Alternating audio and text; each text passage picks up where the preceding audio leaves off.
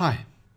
Now in this question we're told that we've got particles P and Q of masses 0.4 kilograms and m kilograms respectively and they're joined by a light inextensible string which passes over a smooth pulley and the particles are released from rest the same height above a horizontal surface. The string is taut and the portions of the string not in contact with the pulley are vertical and Q begins to descend with an acceleration of 2.45 meters per second per second and reaches the surface 0.3 seconds after being released. Subsequently, Q remains at rest and P never reaches the pulley. Now we've got three parts to this question and in the first part we've got to calculate the tension in the string while Q is in motion and then go on to calculate the momentum lost by Q when it reaches the surface and then in part 3 calculate the greatest height of P above the surface. Now in this video I'm only going to tackle the first part of this question and there'll be separate videos for each of the other two parts. So if you'd like to uh, give this a go, if you haven't done so already, just give you a moment to pause the video, do come back when ready and you can check your work solution against mine. Okay, welcome back if you had a go. Well, the first thing that I want to do is mark on the forces acting on each of the particles P and Q.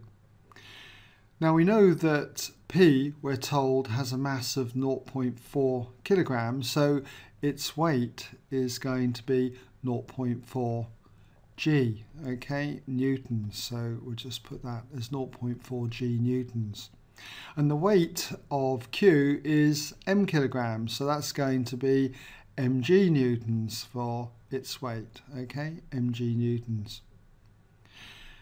Now there's going to also be a tension acting upwards on each of the particles P and Q. So we'll mark that in as T newtons for this one and it'll be T newtons for the other one. And the reason for that is because the pulley here is smooth.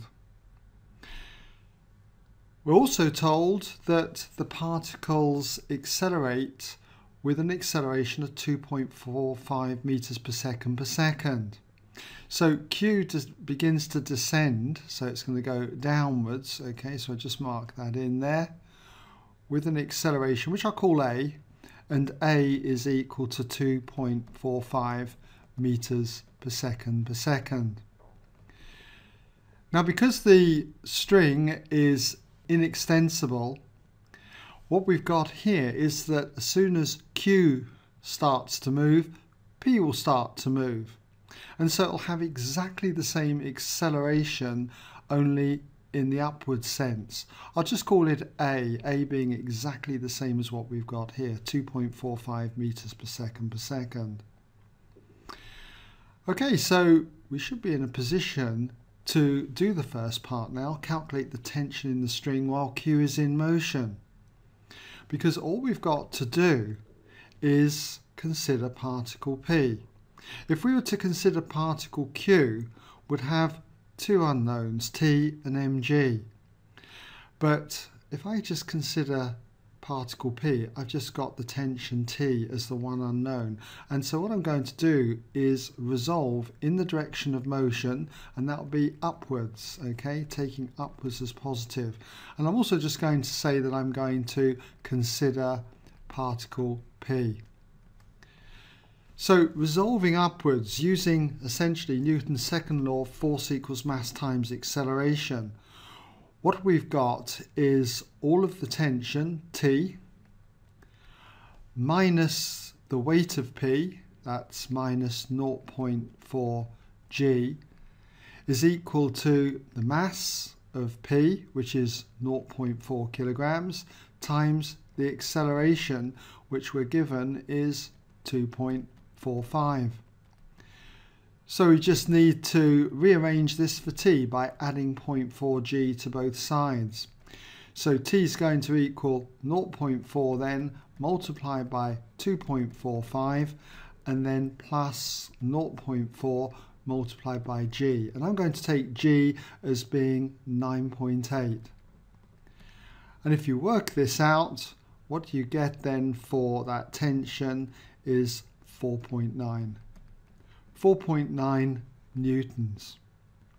So I hope you were able to uh, get that answer. It's a fairly standard type of question, so it should be fairly much routine to do a problem like that. Now, as I say, in the next part, okay, part two, I'll do that in a separate video. If you're looking at this on my website, you'll see a link to that next to this question.